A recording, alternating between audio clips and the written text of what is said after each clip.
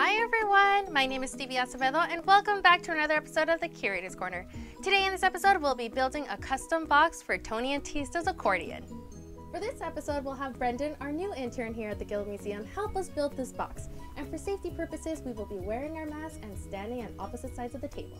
Here we have all the supplies we're going to need to build our custom box for our accordion, so I hope you guys enjoy.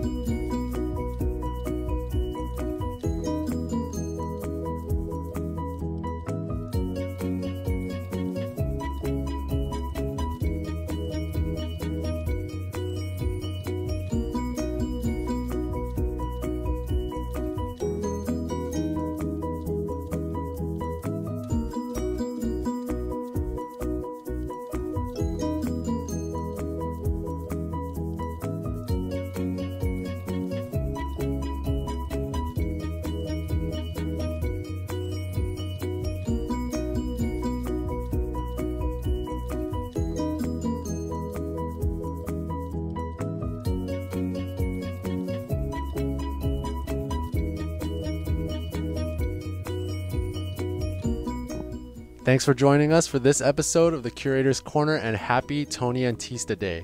Bye.